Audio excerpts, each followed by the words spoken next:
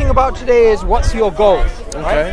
Let me ask you, what's your goal in life? My goal in life is to become the very best I can be and help other people become the very best they can be so that we can simultaneously address the root cause of every single man-made problem there is and leave a, the very best future for the world for our kids to be the very best they can be and live the best lives possible. Okay, that's good. Do you think there's a higher goal than these things? Like, for instance, here you have education, becoming better, health, children, wealth, all these things, and finding love, and eventually you die, right? So, is there a higher goal to life than just this? Well, I think we can take it back further than all those, and I think the highest goal should be to think before we act.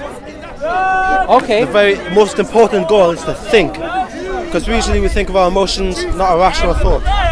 But I think we need to use this effort, which we're unwilling or unable to use. We have to use our effort to think, so we can come to conclusions ourselves. When we're far more likely to act on it ourselves. Sure.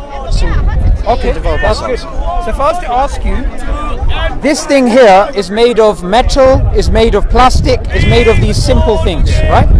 You can, if you get a bit of metal and plastic, right? Because we want to do some thinking, right? And you put the metal and plastic in a bag and you shake it around for a million years, right? But why would you do that? Only an idiot would shake a bag around for a million years. What a reasonable person will do is think about the most relevant and important discussions that they should be having with themselves. No, no, it's true. I agree. But I'm giving you this example to show you that something can't come together by chance. So if this, do you see? Well, I think everything has came together by purely by chance through chaos. So, do you believe that the whole universe can come together by chance? Yeah, Okay. it clearly has, has it not? Well, that's something we're thinking about, which is what we're clearly it has. But like you said, the goal of life is to think before we act. So we're thinking right now. If I was to ask you, that building back there, can that building come together by chance, or does that building have an architect that made it, a designer that made it? Well, it can have multiple dimensions of truth to it. So it can be part, part of it will be probability, the other part will be conscious design effort. Sure. Now, about that building, what's more likely, if it has a design or if it came together by chance? What do you think? I think it's a combination of both, and never just one single factor. So, but there is a designer involved, right? There is a designer involved in the building, Yeah, yes. sure. And the constructing So, in the same way, the universe is more complex than the building. but it's not. It's the universe exhibits more chaos than order. In what way? In that th- things are random, things are chaotic. N- nothing is still. Nothing is ordered. Nothing is. Everything changes. Nothing's never the same eternally. But we have physical, chemical, and biological laws within the universe, right? These are laws that govern the universe. So it shows that there's order. There's a degree of uh, construction involved here. Yeah. So if a building can't come together by chance, then how can the universe? because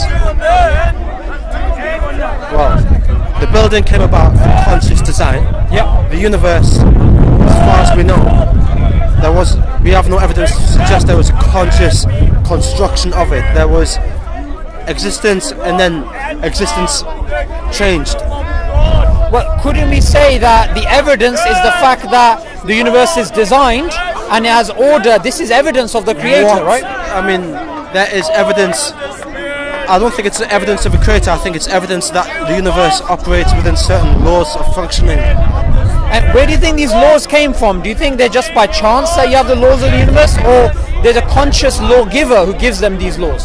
Well, honestly, I think there's a certain balance about everything. And I think, uh, what was your question? Simple and condensed. No problem. My simple, my simple question condensed. Let's let me get to the root of it. Is that if you look at the design of the universe, right? Yeah. And I believe that the design is best explained by a creator, and that's what I'm trying to get to. I think it's best to explore why you believe it was designed by a creator. Why was it? Because I believe that things which are ordered, Yeah. things that which have laws, things which have clear complexity, I don't believe can be a product of chance. They must have a creator, designer, architect.